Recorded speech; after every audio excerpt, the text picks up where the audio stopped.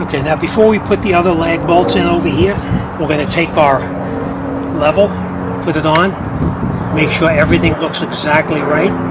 That's perfect.